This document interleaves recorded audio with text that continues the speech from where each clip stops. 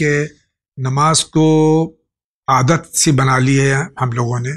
नमाज़ को बरज़ाए इलाही अगर हम पढ़ने की कोशिश करें उसके लिए क्या करना चाहिए? देखिए नमाज़ तो जो वाजिब नमाजें हैं चाहे उसको आदत के तौर पे पढ़ें या रज़ा इलाही के तौर पे पढ़ें वो तो पढ़ना है।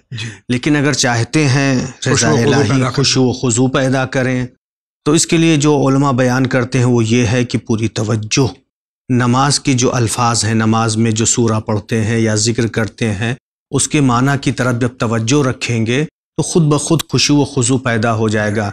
अगर माना की तरफ़ तवज्जो नहीं है तो सूर हमद में जो ये पढ़ते हैं या क्या अनबद व या क्या अनस्तीन हम अल्लाह से कह रहे हैं, मेरे मबूद, हम तेरी ही इबादत करते हैं और तुझसे ही मदद चाहते हैं।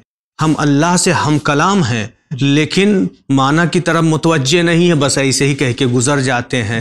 तो खुशी व खुजू पैदा करने के लिए ज़रूरी है कि माना की तरफ़ तवज्जो रखें तो खुशी व खुजू पैदा होगा।